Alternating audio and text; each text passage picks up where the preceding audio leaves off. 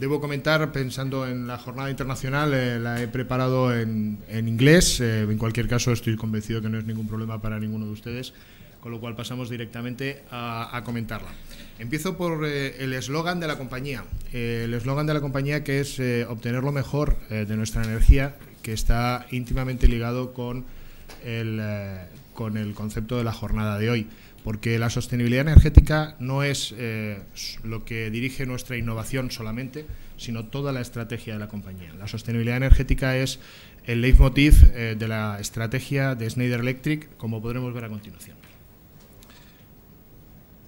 Eh, la estrategia, y se ha comentado en las otras ponencias durante el día, se basa en intentar participar en la solución del problema al que nos enfrentamos, el dilema energético de la necesidad de reducir las emisiones de CO2 para evitar el impacto del cambio climático, según lo que nos indican los eh, expertos eh, medio ambiente, con la realidad que nos da el hecho de que se prevé doblar eh, la necesidad de consumo energético en el 2050 de energía eléctrica en el 2030. El objetivo de Schneider, por tanto, es participar en la solución de este problema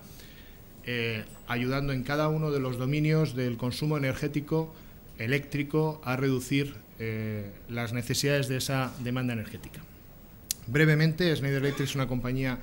eh, con 175 años, donde en el final del siglo XX se orientó a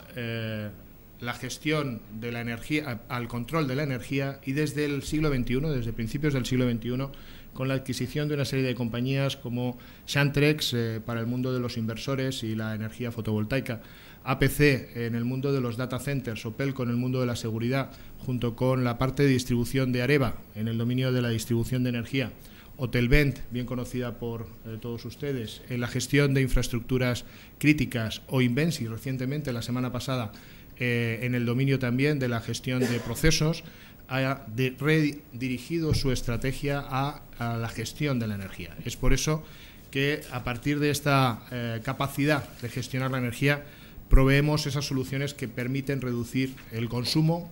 eh, por tanto aumentar la eficiencia eléctrica, la eficiencia energética para eh, luchar contra ese cambio climático. Schneider Electric hoy factura 24.000 millones de euros, sin contar con Invensis. Estos son datos del 2012 todavía, no hemos publicado los datos de 2013. Estamos muy distribuidos en todo el mundo. Eh, es una compañía realmente multinacional, global, eh, como podéis, eh, como pueden ver en las cifras de negocio en las distintas áreas del mundo está muy repartida y realmente esa presencia no es exclusivamente una cifra de ventas, es una cifra también de presencia industrial y de presencia en personas en los distintos continentes. Como aparece también nuestra, como seguramente en muchos, en muchas de las compañías del sector, la innovación y el I y la innovación forman parte evidentemente eh, estructural de nuestra estrategia para poder mantener una posición de liderazgo y de continua mejora de las soluciones y de los productos que aportamos al mercado. Y de ahí ese 4 o 5% regular de inversión en I Schneider Electric como estrategia decía eh, que nos dedicamos efectivamente a la gestión de la energía y no nos dedicamos, por tanto, a proveer productos o equipos para la producción de energía ni para el consumo de la energía. No fabricamos bombillas o no fabricamos eh, calderas. No nos, eh, nos, centramos exclusivamente entre bornes del generador y bornes del enchufe, porque precisamente ese es el espíritu de la compañía, gestionar todo el tránsito de la energía desde su generación a su consumo de la mejor y más, y más eficiente manera. ¿Cómo lo hacemos? Bueno, pues primero proviendo eh, productos eficientes y productivos. Eh, hemos hablado durante la mañana de que la eficiencia energética no es exclusivamente el ahorro, es eh, conseguir disponibilidad, es conseguir fiabilidad de esa, de esa energía y, por supuesto, eh, que sea suficiente, que sea barata, que sea que, que, consiga ahorros, que sea fiable, que sea segura, que sea segura para las personas y para los, para los sistemas y, bueno, evidentemente que sea cada vez más verde, e incorporando tecnologías que permitan reducir, como apuntábamos durante eh, al principio de la presentación, eh, permitan reducir la emisión de CO2. Pero no solo con productos, y aquí pretendo reflejar en esta parte de la, de la presentación todos los ámbitos de productos que podemos intentar, en los que podemos agrupar los consumos eléctricos, sino de manera muy importante trabajando en la integración de esos productos en unos sistemas que trabajen de forma eh, conjunta para conseguir realmente la eficiencia del sistema. No hablamos exclusivamente de que los productos per se, variadores de velocidad o baterías de condensadores nos aporten con reducciones de consumos puntuales en sus distintos usos, sino que conjuntamente esos eh, distintos productos trabajen de forma eh, consensuada, conjunta, para mejorar la eficiencia conjunta. ¿Cómo lo hacemos? Bien, para cada uno de los segmentos en los que Schneider Electric tiene, eh, provee equipos, provee soluciones, que son los que pretendemos reflejar abajo, eh, sistemas de distribución de energía, oil and gas, o data centers y, mm, hospitales o food and beverage, para cada uno de esos segmentos, en los distintos eh, dominios en los que proveemos equipos y soluciones, lo que hacemos es integrar toda la gestión de esos equipos en una visión eh, vertical, eh, desde productos hasta sistemas y desde sistemas hasta elementos de gestión. ¿Para qué? Para poder proveer de la información necesaria no solamente al operador de la máquina, no solamente al director de la planta, sino al mismo, a la misma dirección de la compañía que, permita, que le permita tomar decisiones desde un punto de vista de eficiencia, desde un punto de vista eh, de, orientación estratégica las, eh, las, decisiones necesarias, las decisiones adecuadas en función de la información que el sistema le provea. Para implementar esto necesitamos llevar, porque hablamos de sostenibilidad energética, la visibilidad de esa energía a todos los niveles de la, de la compañía. Necesitamos implementar dentro de esa eh, de esa visibilidad también la seguridad, la seguridad de los equipos y también la seguridad intrínseca de los sistemas y como tercer punto y muy importante, hacerlo de forma abierta, para poder incorporar las distintas plataformas, para poder eh, no centrarnos en las soluciones propias de nuestra compañía, sino poder integrar las necesidades reales de los clientes. Y aquí eh, quiero hacer mención a nosotros, como hemos, como apuntaba al principio, somos el resultado de la integración de muchas compañías a lo largo, especialmente compañías tecnológicas desde primeros del siglo XXI y cuando hemos querido ofrecer realmente una gestión integrada de la energía, nos hemos encontrado con las dificultades propias de los protocolos, de los sistemas, sistemas que vienen de distintos dominios, eh, pues el, industrial, el residencial o el de gestión de edificio, y que se hace muy difícil integrarlos para una gestión eh, conjunta. Desde hace cuatro años, Schneider Electric, con esta plataforma que denominamos EcoStructure, que no es una plataforma en absoluto cerrada, sino todo lo contrario, pretendemos realmente establecer protocolos web que nos permiten la integración de las distintas eh, soluciones para los distintos dominios y realmente proveer una integración de, los, eh, de la información en cada uno de esos sistemas para gestionarlos de forma conjunta. En la misma línea que eh, apuntaban, apuntaban antes el modelo de datos único que eh, que comentaba la persona de CLH, eh, nosotros lo llevamos a todo el ámbito de la gestión energética, integrando, como decía, mediante eh, tecnología web los distintos subsistemas. Ese modelo, como, vemos aquí,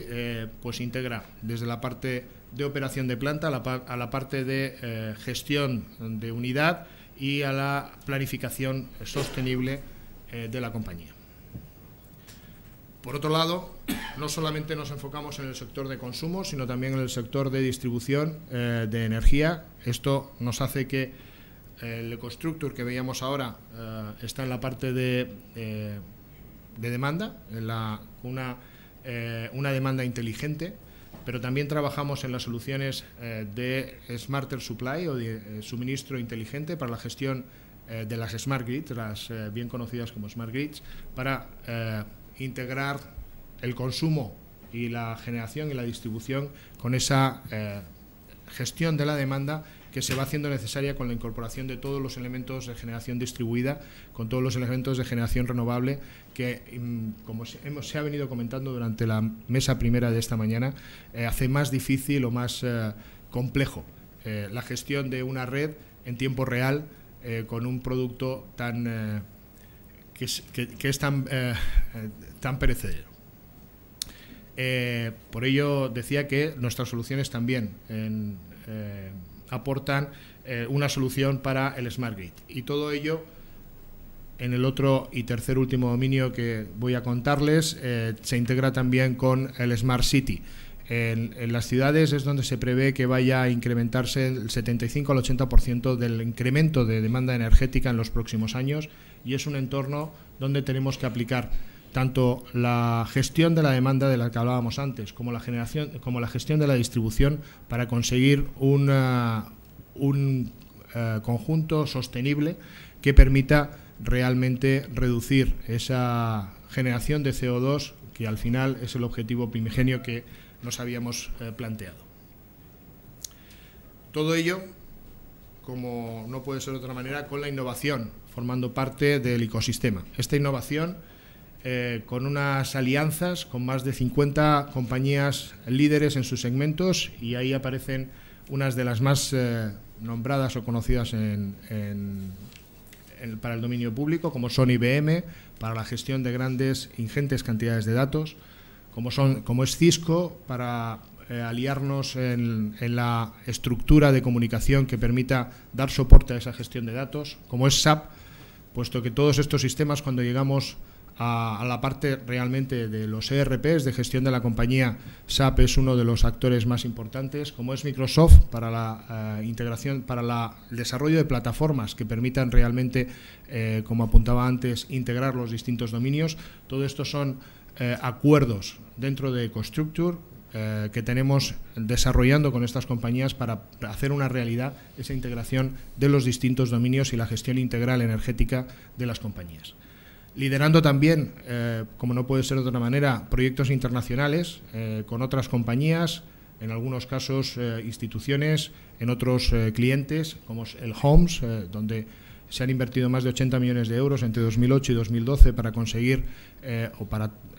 tratar de encontrar soluciones que reduzcan hasta un 20% el consumo de las viviendas en el dominio residencial, o el Minalogic, que, está, que desarrolla eh, oportunidades, eh, ayuda a empresas, startups en el, en el ámbito de la nanotecnología o el Smart Electricity, eh, distintos proyectos en toda Europa y en Estados Unidos y China en el ámbito de, la, de las Smart Grids. Como no, también desarrollando la estandarización, estandarización que al final es la que nos permite trabajar de forma transversal con esos otros eh, actores y que permite ampliar el ámbito de la gestión de la energía en, las soluciones que proveemos y esa estandarización bueno, dentro de Zigbee, IEC o NEMA. Y Zigbee es, eh, es un eh, protocolo muy interesante para las aplicaciones residenciales, puesto que es muy verde, no necesita de baterías, no necesita de cableado porque es wireless y es uno de los protocolos que en el ámbito residencial mejor desarrollo está teniendo y eh, promoviendo también, como apuntaba antes, startups que lleven a la realidad esas ideas de innovación que eh, detectamos y que eh, desarrollamos en I+.D. desde Schneider Electric con esos 11.000 ingenieros de I+.D. que apuntamos en la transparencia con más de 70 ubicaciones de tecnología en más de 22 países. Bien, y además, por supuesto, nosotros hacemos también eh, nuestra aportación sostenible a la gestión de la energía, porque no solo lo proveemos como soluciones para nuestros clientes, sino lo implementamos en nuestras propias eh, instalaciones. Eh, además de desarrollar esos negocios de eficiencia energética renovable, vehículos eléctricos o smart cities, somos una compañía que trabaja de forma muy intensa en el desarrollo, en el, desarrollo de sostenibilidad energética también en la parte de dar acceso a la energía. Tenemos un, plan corporativo que se denomina BIPBOP, que es eh, Business and Innovation. Eh, para, para, las personas, para el people en el base of pyramid, es decir, a las personas eh, poco favorecidas. Con ese programa pretendemos dar acceso a la energía, pero no solamente dar acceso a la energía, sino implementar las estructuras para que ese, ese acceso sea sostenible. Estamos durante los últimos tres años, cuatro años, con este último, hemos dado acceso a un millón de personas a la, a la energía y hemos formado a cerca de mil profesionales para que sigan en esos ámbitos donde nosotros hemos eh, desarrollado los proyectos, desarrollando la capacidad de desplegar las redes energéticas. y bueno, trabajando obviamente en el entorno de la protección del medio ambiente, con un compromiso social y con unas éticas y responsabilidad que se, eh, que se concretan en un, eh, en un indicador que forma parte de un indicador clave de la compañía, donde nos medimos la performance de la sostenibilidad, las mejoras de sostenibilidad como parte del programa de empresa del grupo. Todo ello, al final, lo que nos da es eh, la mejor satisfacción que son las recompensas o el reconocimiento por parte tanto del mercado como de, los, de las instituciones con una serie de eh, referencias eh, en, índices de mercado, referencias éticas, la última de la cual se produjo la semana pasada, siendo se, anunció en el Foro Mundial de Davos que por segundo año consecutivo somos parte de las 100 empresas verdes eh, que eh, edita o que publica el eh, foro de Corporate Nights, la posición decimotercera. Por mi parte, nada más. luego en la parte de posterior de la mesa redonda podemos hablar de otros proyectos, de referencias de proyectos que hemos, que hemos realizado, como el de Homes que apuntaba antes, con esas soluciones, o proyectos realizados en España de desarrollo de eh, soluciones para la gestión de la energía, smart cities, etcétera. Nada más. Muy bien, muchas gracias.